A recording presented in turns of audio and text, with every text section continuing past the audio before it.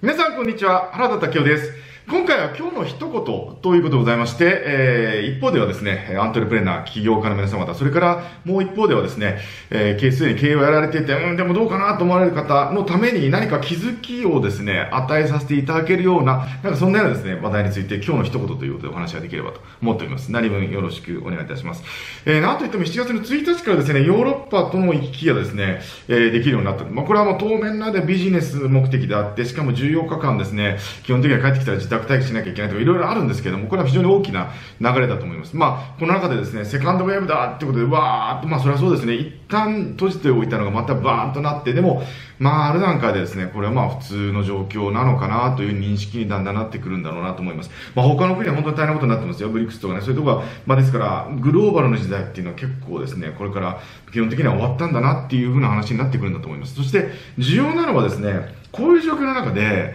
えー、まあ端的に言うとですね、今日の一言、要するに今日、今、この瞬間起きていることはそういうことで、もヨーロッパとの関係で基本的に門戸が開いたということなんですけども、今後順次開いていくんだと思うんですね。そうすると何が起きると思います？もう間違いなくですね、全世界からすごい勢いで人々がやってくると思います。でも全世界からすごい勢いで人々がやってくる。なんでそんなことやるのかというと、それは我が国がよりマシな状況だからなんですよ。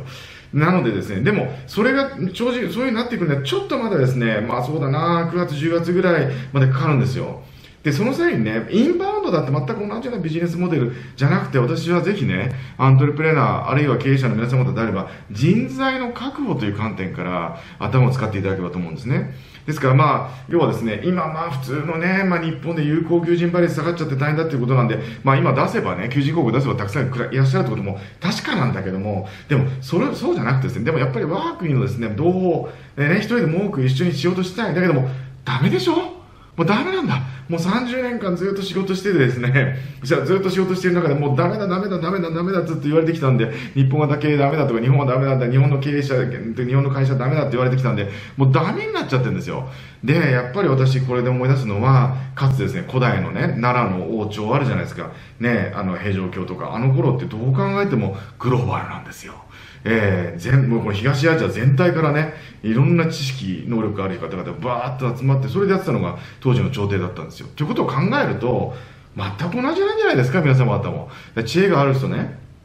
それから能力ある方、やる気のある方っていうのは、多分これから日本に来る方々、外国人の方々、あるいはすでに今日本にいるんだけども、必ずしもオポチュニティなかった方々っていうのはいるんですよ。だからそういう方々からですね、いい人たちを取るっていう方向にしていくとですね、その人を核になって、またいい人を取っていくっていうことが可能になってくると思うんですね。非常に難しいのはやっぱり皆様方ね、必ずしもまあ、英語も含めてね、私もそうですけども、そんな外国語できんのかできませんよ、そんなのね。日本人なんだから、日本に作らせるから。だけどもその時にね、やっぱり一人でも味方になる方を外国のですね、まあ、幹部を一人見つけるっていうのはすごく重要な重要なことだと思います。まあ、それは日本にですね、まあ、何らかの理由でずっと来ていた方。で、この方々をコアにしてこれからガーッとですね、優秀な順番から順番で我が国に来ますんで、そういう人たちをしっかりと抱え込んでいくっていうことができた企業がこれ勝ちなんでしょうね。だからもうすでにですね、すでにもう今の段階でもうアントレプレナー、企業の段階でもそう、例えばですね、東京大学とか、まあそういったいろんな大学のポスドクでですね、でポスドクでしかも外国人だなんて言ったら、